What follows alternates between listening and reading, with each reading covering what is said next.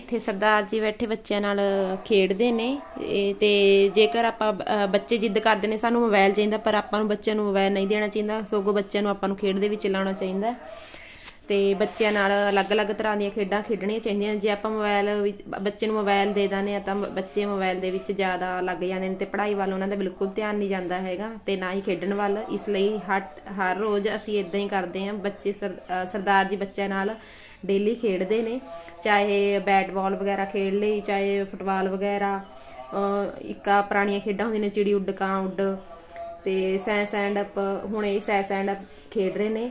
ਤੇ ਚਲੋ ਜੀ, ਜੇ ਤੁਸੀਂ ਸਭ ਤੋਂ ਪਹਿਲਾਂ ਮੇਰੇ ਚੈਨਲ ਤੇ ਨਵੇਂ ਹੋ ਤਾਂ ਮੇਰੇ ਚੈਨਲ ਨੂੰ ਲਾਈਕ ਸਬਸਕ੍ਰਾਈਬ ਤੇ ਸ਼ੇਅਰ ਜ਼ਰੂਰ ਕਰ ਦਿਓ। ਨੋਟੀਫਿਕੇਸ਼ਨ ਬੈਲ ਵਾਲਾ ਬਟਨ ਜ਼ਰੂਰ ਦਬਾਇਓ। ਤੇ ਵੀਡੀਓ ਨੂੰ ਐਂਡ ਤੱਕ ਜ਼ਰੂਰ ਦੇਖਿਓ। ਫੁੱਲ ਆਵਾਜ਼ ਦੇਖਿਓ।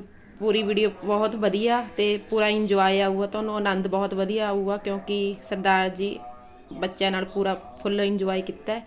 ਤੇ ਚਲੋ ਜੀ, ਤੁਸੀਂ ਇੱਧਰ ਇੰਜੋਏ ਕਰੋ।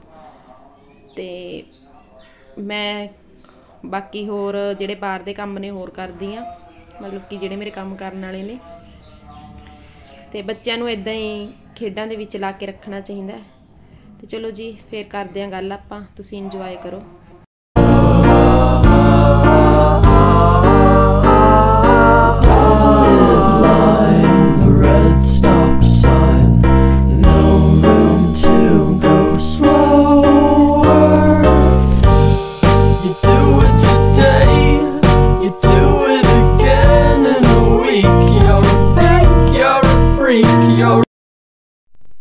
ਅਕਾਲ ਜੀ, ਮੈਂ ਹਾਂ ਸਰਬਜੀਤ। ਪਿੰਡੂ ਮਾਨ ਚੈਨਲ ਤੇ ਮੈਂ ਸਭ ਦਾ ਸਵਾਗਤ ਕਰਦੀ ਹਾਂ।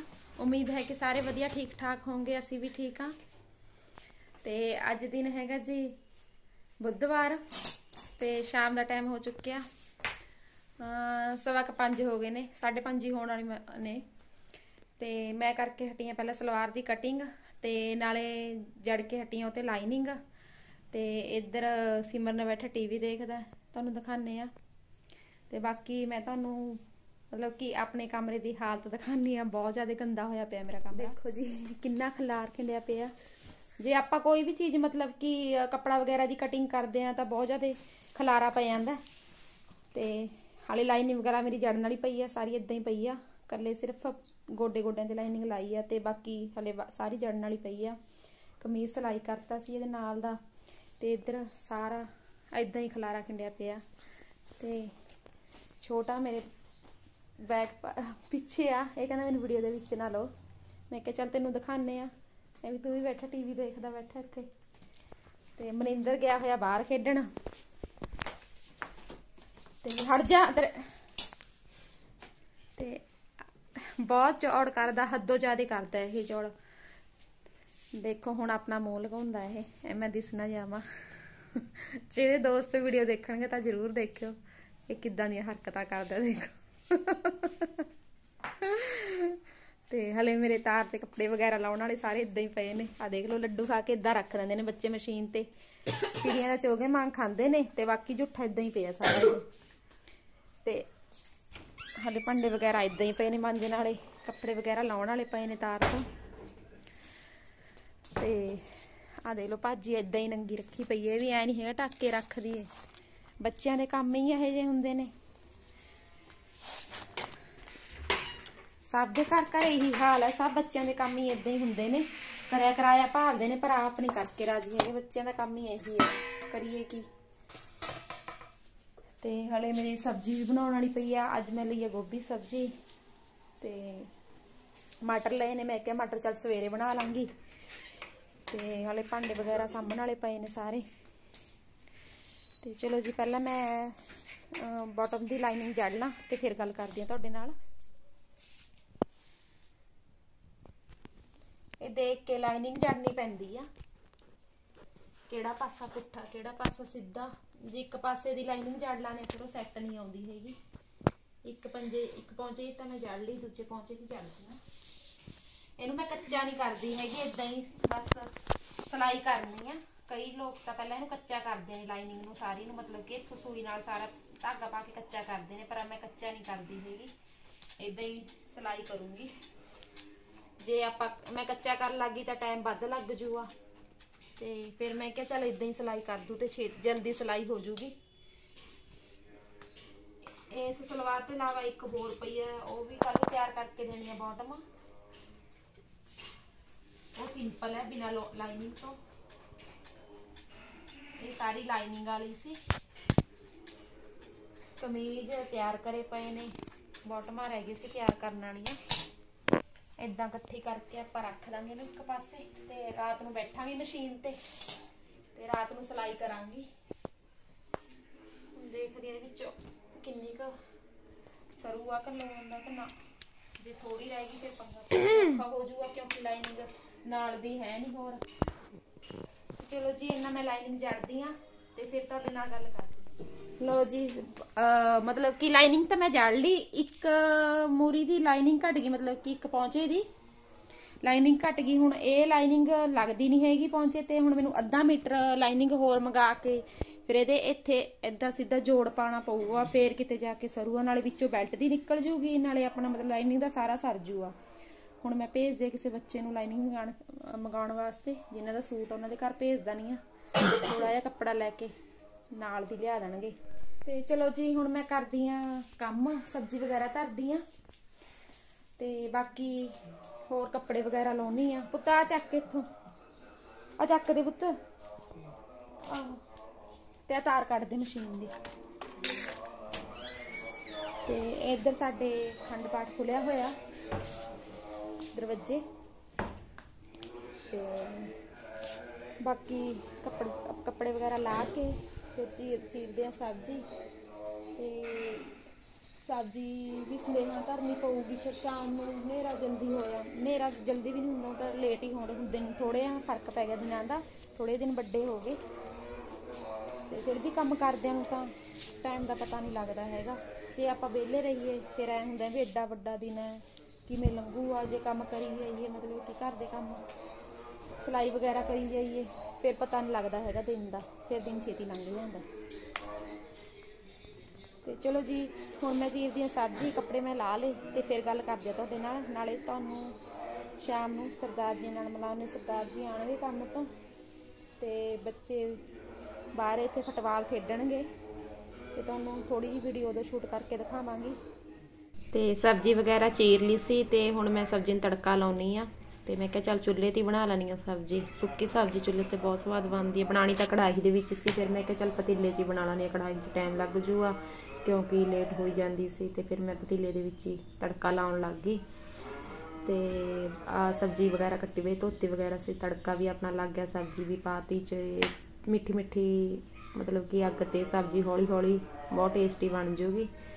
ਤੇ ਬਾਅਦ ਦੇ ਵਿੱਚ ਜੋ ਸਬਜ਼ੀ ਆਪਣੀ ਤਿਆਰ ਹੋ ਜੂ ਧਨੀਆ ਪਾ ਦਾਂਗੇ ਤੇ ਹੁਣ ਇਸ ਤੋਂ ਬਾਅਦ ਮੈਂ ਗੁੰਦੀ ਆਟਾ ਤੇ ਚਲੋ ਜੀ ਫੇਰ ਗੱਲ ਕਰਦੇ ਆਂ ਰੋਟੀ ਰੋਟੀ ਭਾਂਡੇ ਵਗੈਰਾ ਮੈਂ ਮਾਂਜਣ ਲੱਗ ਗਈ ਸੀ ਰੋਟੀ ਵਗੈਰਾ ਅਸੀਂ ਖਾ ਲਈ ਸੀ ਤੇ ਅਸੀਂ ਰੋਟੀ ਸਾਰੇ ਇੱਕ ਮਤਲਬ ਕਿ ਪਰਿਵਾਰ ਇਕੱਠਾ ਬਹਿ ਕੇ ਖਾਂਦੇ ਆ ਚਾਰੇ ਜਣੇ ਸੀ ਦੋ ਬੇਟੇ ਤੇ ਸਰਦਾਰ ਜੀ ਤੇ ਮੈਂ ਇਕੱਠੇ ਬਹਿ ਕੇ ਖਾਂਦੇ ਰੋਟੀ ਤੇ ਰੋਟੀ ਵਗੈਰਾ ਖਾ ਕੇ ਤੇ ਫਿਰ ਮੈਂ ਕਿਹਾ ਚੱਲ ਭਾਂਡੇ ਵੀ ਮਾਂਜ ਹੀ ਦਿੰਨੀ ਆ ਤੇ ਬਾਕੀ ਇੱਧਰ ਦੇਖੋ ਹਲੇ ਖਲਾਰਾ ਬਹੁਤ ਪਿਆ ਚੱਕਣ ਵਾਲਾ।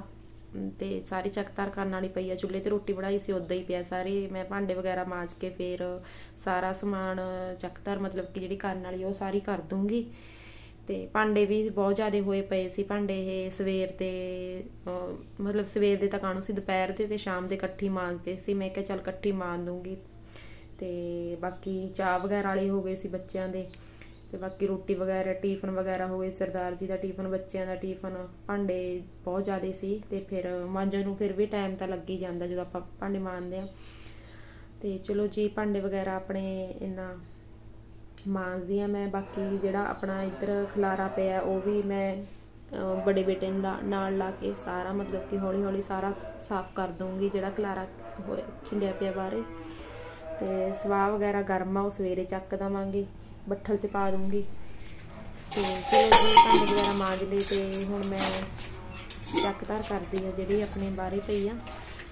ਤੇ ਜਿਹੜੇ ਭਾਂਡੇ, ਟੋਕਰੀ ਜਾ, ਅਹ, ਛੋਟੀ ਆ, ਭਾਂਡੇ ਜ਼ਿਆਦੇ ਸੀ, ਇਸ ਲਈ ਥੋੜੇ ਭਾਂਡੇ ਮੇਰੇ ਡਿੱਗੇ ਸੀ, ਅਸੀਂ ਮੈਨੇ ਚੱਕ ਕੇ ਫੜਾਤੇ ਤੇ ਚੱਕ ਕੇ ਅੰਦਰ ਰੱਖਤੇ ਤੇ ਹੁਣ ਮੈਂ ਸਰਦਾਰ ਜੀ ਨੂੰ ਕਹਿੰਦੀ ਹਾਂ ਬੱਚਿਆਂ ਨਾਲ ਥੋੜਾ ਜਿਹਾ ਮਤਲਬ ਕਿ ਖੇਡ ਖੇਡ ਲੈਣਗੇ ਨਹੀਂ ਤਾਂ ਬੱਚੇ ਜੇ ਬੱਚੇ ਥੋੜਾ ਪਹਿਲਾਂ ਤਾਂ ਪੜ੍ਹ ਕੇ ਹਟੇ ਨੇ ਜੇ ਬੱਚਿਆਂ ਨਾਲ ਨਹੀਂ ਖੇਡਾਂਗੇ ਤਾਂ ਬੱਚੇ ਮੋਬਾਈਲ ਮੰਗਣਗੇ ਮੋਬਾਈਲ ਬੱਚੇ ਨੂੰ ਕਦੇ ਨਹੀਂ ਦੇਣਾ ਚਾਹੀਦਾ। ਭਾਂਡੇ ਵਗੈਰਾ ਮੈਂ ਮਾਂਗਤੇ ਸੀ ਤੇ ਹੁਣ ਅਸੀਂ ਇੱਥੇ ਬੈਠੇ ਸੀ ਤੇ ਸਰਦਾਰ ਜੀ ਬੱਚਿਆਂ ਨੂੰ ਕਹਿ ਰਹੇ ਸੀ ਵੀ ਚੱਲ ਆਪਾਂ ਫੁੱਟਬਾਲ ਖੇਡ ਲੈਣੇ ਬਾਰੇ ਪਰ ਬੱਚੇ ਕਹਿੰਦੇ ਵੀ ਅਸੀਂ ਪਹਿਲਾਂ ਪੜ੍ਹਾਈ ਕਰਨੀ ਆ ਫਿਰ ਪੜ੍ਹਨ ਲੱਗ ਗਏ। ਤੇ ਹੁਣ ਥੋੜਾ ਜਿਹਾ ਚਿਰ ਫੁੱਟਬਾਲ ਤਾਂ ਖੇਡਣਾ ਕੈਨਸਲ ਕਰਤਾ। ਤੇ ਹੁਣ ਕਿਹੜੀ ਖੇਡ ਖੇਡਣੀ ਹੈ ਜੀ? ਫੁੱਟਬਾਲ। ਪੰਜਾ ਲੜਾਉਣਾ? ਹੁਣ ਵੱਡਾ ਬੇਟਾ ਮਨਿੰਦਰ।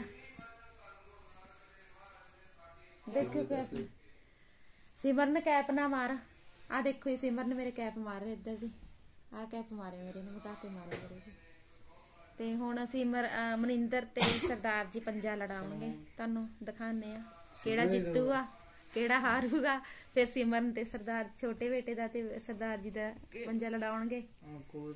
ਫਿਰ ਤੁਹਾਨੂੰ ਦਿਖਾਵਾਂਗੇ ਕਿੰਨਾ ਕਿਹੜਾ ਜਿੱਤਿਆ ਕਿਹੜਾ ਹਾਰਿਆ। ਚਲੋ ਜੀ ਸਟਾਰਟਿੰਗ ਕਰਦੇ ਆ 1 2 3 ਚਲੋ ਜੀ ਦੇਖੋ ਕਿਹੜਾ ਜਿੱਤੂ। ਮਨਿੰਦਰ ਮਨਿੰਦਰ ਮਨਿੰਦਰ ਮਨਿੰਦਰ ਮਨਿੰਦਰ ਮਨਿੰਦਰ ਮਨਿੰਦਰ ਮਨਿੰਦਰ ਮਨਿੰਦਰ। ਹਾਂ, ਮਨਿੰਦਰ। ਡੈਡੀ ਸਿੰਘ ਅਟਮੋ ਕਿਹਦੇ ਕਣੀ ਵੋਟ ਜਾਊ ਦੇਖੋ। ਡੈਡੀ ਕੰਨੀ ਡੈਡੀ ਕਿ ਚਲੋ ਜੀ ਸਰਦਾਰ ਜੀ ਜਿੱਤ ਗਏ ਜਿੱਤ ਗਏ ਜਿੱਤ ਗਏ ਛੋਟਾ ਬੱਚਾ। ਆਹ ਥਾਰੀ ਵਾਰੀ। ਲੋ ਜੀ ਹੁਣ ਸਿਮਰਨ ਤੇ ਸਰਦਾਰ ਜੀ ਆਉਣਗੇ।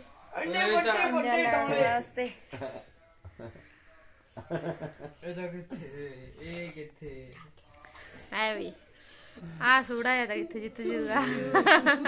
ਖਾਇਆ ਪੀਆ ਕਰ ਪੁੱਤ ਫੇਰ ਜਾਣ ਆਊਗੀ। ਖਾਣ ਪੀਣ ਵਾਲੀ ਆ। ਆ। ਏ ਏ ਚਾਰ ਸਿਵਰਨ ਜਿੱਤ ਗਿਆ ਬਈ। ਲੈ ਲੈ। ਸਿਵਰਨ ਜਿੱਤ ਗਿਆ। ਦਵਾਈ ਲੈ ਲੈ ਪੁੱਤ। ਲੈ ਮੇਰੇ ਨਾਲ ਆਓ ਤੇ ਚਲੋ ਜੀ ਬਸ। ਹੁਣ ਕਰਦੇ ਆ ਇੱਧਰ ਆਪਾਂ। ਸਾਡੇ ਦਿਖਾ ਦੇ ਅੱਛਾ ਦੋਹੇ ਜਿਹੜੇ। ਇਹਨਾਂ ਦੋਨਾਂ ਚ ਦੇਖੋ ਕਿਹੜਾ ਜਿੱਤੂਗਾ ਹੁਣ। ਚੱਲ ਦੋਨੇ ਹੱਥ ਲੜ ਸੀਮਨ ਤਾਂ ਦੋ ਹੱਥਾਂ ਨਾਲ ਕਰਦਾ। ਨਹੀਂ ਨਹੀਂ ਨਹੀਂ ਨਹੀਂ ਨਹੀਂ ਨਹੀਂ ਨਹੀਂ ਨਹੀਂ ਏ ਗਾਂ। ਇਹ ਗੱਲ ਗਲਤ ਆ ਲੱਗ ਪੁੱਤ। ਗਿਆ ਇਹਦਾ ਲੱਗ ਗਿਆ। ਤੇ ਚਲੋ ਜੀ ਬੱਚਿਆਂ ਨਾਲ ਥੋੜਾ ਜਿਹਾ ਇੰਜੋਏ ਕਰ ਲਿਆ ਸਰਦਾਰ ਜੀ ਨੇ। ਤੇ ਰੋਜ਼ ਇਦਾਂ ਹੀ ਸਰਦਾਰ ਜੀ ਬੱਚਿਆਂ ਨਾਲ ਰੋਜ਼ ਖੇਡਦੇ ਨੇ ਕਦੇ ਫੁੱਟਬਾਲ ਵਗੈਰਾ ਖੇਡ ਲਈ ਕਦੇ ਕ੍ਰਿਕਟ ਮੈਚ ਵਗੈਰਾ ਖੇਡ ਲਿਆ। ਤੇ ਬਾਕੀ ਹੋਰ ਖੇਡਾਂ ਜਿਹੜੀਆਂ ਹੁੰਦੀਆਂ ਨੇ ਆ ਇੱਕ ਪੁਰਾਣੀ ਖੇਡ ਹੁੰਦੀ ਹੈ ਚਿੜੀ ਉੱਡ ਕਾਂ ਉੱਡ ਕਦੇ ਉਹ ਖੇਡ ਲਿਆ। ਐਦਾਂ ਹੀ ਬੱਚਿਆਂ ਨਾਲ ਮौज ਮਸਤੀ ਕਰਨੀ ਚਾਹੀਦੀ ਹੈ ਆਪਾਂ ਨੂੰ ਤੇ ਆਪਣਾ ਮਤਲਬ ਕਿ ਦਿਲ ਵੀ ਖੁਸ਼ ਹੋ ਜਾਂਦਾ ਖੇਡ ਕੇ ਬੱਚਿਆਂ ਨਾਲ। ਤੇ ਚਲੋ ਜੀ ਤੁਹਾਨੂੰ ਹੁਣ ਦਿਖਾਣੇ ਆ ਸਰਦਾਰ ਜੀ ਖੇਡ ਰਹੇ ਨੇ ਬੱਚਿਆਂ ਨਾਲ। ਚਿੜੀ ਉੱਡ ਕਾਂ ਉੱਡ ਸਭ ਤੋਂ ਬਚਪਨ ਦੀ ਪੁਰਾਣੀ ਖੇਡ। ਦੇਖੋ ਜੀ ਇੱਧਰ ਪਹਿਲਾਂ ਬਹੁਤ ਛੋਟੇ ਹੁੰਦੇ ਖੇਡਦੇ ਹੁੰਦੇ ਸੀ। ਚਿੜੀ ਉੱਡ ਕਾਂ ਉੱਡ। ਚਿੜੀ ਉੱਡ ਕਾਂ ਉੱਡ ਕਬੂਤਰ ਉੱਡ ਮੋਰ ਉੱਡ ਚੋਰ ਉੱਡ। ਆ ਕਰ ਹੱਥ ਲੈ। ਪਹਿਲਾਂ ਬਹੁਤ ਖੇਡਦੇ ਹੁੰਦੇ ਸੀ ਇਹ ਖੇਡਾਂ ਨਾ ਤੇ ਹੁਣ ਵੀ ਮਤਲਬ ਖੇਡ ਕੇ ਆਪਾਂ ਥੋੜਾ ਜਿਹਾ ਆਪਣੇ ਮਨ ਨੂੰ ਫਰੈਸ਼ ਕਰ ਲਾਨੇ ਆ। ਤੇ ਵਧੀਆ ਦਿਨ ਲੰਘ ਜਾਂਦਾ ਆਪਣਾ ਜਦੋਂ ਬੱਚਿਆਂ ਨਾਲ ਥੋੜਾ ਜਿਹਾ ਆਪਾਂ ਖੇਡ ਲਾਨੇ ਆ। ਉਹ ਨਾ ਦੋ ਐ ਨਹੀਂ ਫਿਰ ਐ ਆ ਨਾ ਨਾ, ਹਾਂ। ਇੱਕ ਕਰਨਾ ਹੈ ਐ ਦਿਮਾਗ ਚੁਸਤ ਹੁੰਦਾ। ਪੁੱਤ ਜ਼ਿਆਦਾ ਜ਼ੋਰ ਦੀ ਨਹੀਂ ਮਾਰਨਾ ਹੈਗਾ। ਇਹ ਗੱਲ ਗਲਤ ਯਾਰ ਆ ਜ਼ੋਰ ਨਹੀਂ ਮਾਰਿਆ ਆਇਓ ਮੈਂ ਗਿਣਵਾ ਮਾਰੇ ਇੱਕ ਨਾ ਵੱਧ। ਲੱਗਿਆ ਲੱਗਿਆ। ਲੱਗਿਆ ਲੱਗਿਆ ਲੱਗਿਆ ਲੱਗਿਆ। ਉਹ ਮੈਂ ਹੁਣ ਇਹਦੀ ਵਾਰੀ ਹੁਣ ਇਹਦੀ ਵਾਰੀ। ਕੜ ਕੜ ਚਿੜੀ ਉੱਡ। ਚੋਰ ਉੱਡ। ਆਜੋ ਆਜੋ ਆਜੋ। ਮੰਮਾ ਨੇ ਜਿਹੜੀ ਉੱਡ ਗਿਆ ਪਹਿਲਾਂ ਮਨਿੰਦਰ ਨੂੰ ਥੋੜਾ ਫਿਰ ਬਾਜੋ ਆਪਾਂ ਬਦਲ ਹੋਣੇ ਹੁੰਦੇ ਦੋਨੇ ਹੱਥ ਕਰੋ।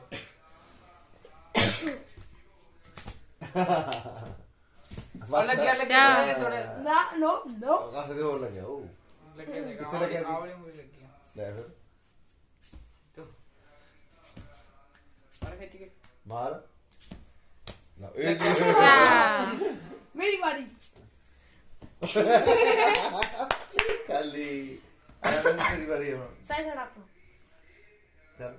ਕੁੜੀ ਉੱਡ ਚਿੜੀ ਉੱਡ ਮੋਰ ਉੱਡ ਪੰਛੀ ਉੱਡ ਚੋਰ ਉੱਡ ਮੋਰ ਉੱਡ ਕੁੜੀ ਉੱਡ ਕੋੜੀ ਸਮ ਉੱਡ ਕੁੜਾ ਉੱਡ ਉੱਚੀ ਬੋਲ ਬੋਲ ਮੈਂ ਬੋਲਦਾ ਚਿੜੀ ਉੱਡ ਕਾਂ ਉੱਡ ਚੋਰ ਉੱਡ ਮੋਰ ਉੱਡ ਚਿੜੀ ਉੱਡ ਕਾਂ ਉੱਡ ਚਿੜੀ ਉੱਡ ਗਾਂ ਉੱਡ ਚਿੜੀ ਉੱਡ ਗਾਉੜਾ ਤਾਂ ਦਿੱਤੀ ਸੀ ਨਹੀਂ ਚਿੜੀ ਉੱਡ ਕਾਂ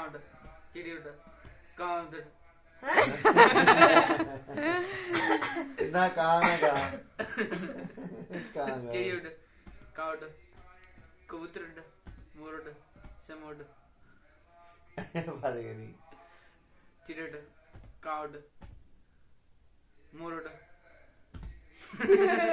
ਕਬੂਤਰ ਉੱਡ ਚੋਰ ਉੱਡ ਮੋਰ ਉੱਡ ਉੱਡ ਮੈਂ ਕਹਾ ਕਾਂ ਉੱਡ ਤੇ ਚਲੋ। ਜੀ।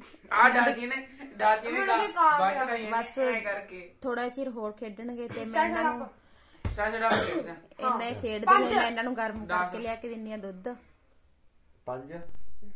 ਤੇ ਹੁਣ ਮੈਂ ਦੁੱਧ ਗਰਮ ਕਰਕੇ ਲਿਆ ਕੇ ਦਿੰਨੀ ਆ ਤੇ ਦੁੱਧ ਵਗੈਰਾ ਪੀ ਕੇ ਫਿਰ ਪੈ ਜਾਾਂਗੇ ਤੇ ਚਲੋ ਜੀ ਅੱਜ ਦੀ ਵੀਡੀਓ ਕਰਦੇ ਆਪਾਂ ਇੱਥੇ ਸਮਾਪਤ। ਮਿਲਦੇ ਆ ਕਿਸੇ ਹੋਰ ਵਧੀਆ ਨਵੀਂ ਵੀਡੀਓ ਨਾਲ। ਜੇਕਰ ਤੁਹਾਨੂੰ ਮੇਰੀ ਵੀਡੀਓ ਵਧੀਆ ਲੱਗੀ ਹੋ ਤਾਂ ਮੇਰੇ ਚੈਨਲ ਨੂੰ ਲਾਈਕ ਸਬਸਕ੍ਰਾਈਬ ਤੇ ਸ਼ੇਅਰ ਜ਼ਰੂਰ ਕਰ ਦਿਓ। ਤੇ ਨੋਟੀਫਿਕੇਸ਼ਨ ਬੈਲ ਵਾਲਾ ਬਟਨ ਜ਼ਰੂਰ ਦਬਾ ਦਿਓ। ਤਾਂ ਜੋ ਤੁਹਾਨੂੰ ਹਰ ਮੇਰੀ ਹਰ ਇੱਕ ਵੀਡੀਓ ਦੇਖਣ ਲਈ ਮਿਲੇ। ਇੱਧਰ ਦੇਖੋ ਜੀ ਸਿਮਰਨਾ ਗੋਟਾ ਹੀ ਦਿਖਾ ਰਿਹਾ ਤੇ ਚਲੋ ਜੀ ਅੱਜ ਦੀ ਵੀਡੀਓ ਸੀ ਇੱਥੇ ਤੱਕ। ਉਮੀਦ ਕਰਦੇ ਹਾਂ ਤੁਹਾਨੂੰ ਮੇਰੀ ਵੀਡੀਓ ਵਧੀਆ ਲੱਗੀ ਹੋਊਗੀ। ਤੇ ਮਿਲਦੇ ਆ ਹੋਰ ਇੱਕ ਵਧੀਆ ਜੀ ਨਵੀਂ ਵੀਡੀਓ ਨਾਲ, ਤਦ ਤੱਕ ਲਈ ਸਾਰਿਆਂ ਨੂੰ ਸਤਿ ਸ਼੍ਰੀ ਅਕਾਲ, ਬਾਏ ਬਾਏ, ਗੁੱਡ ਨਾਈਟ।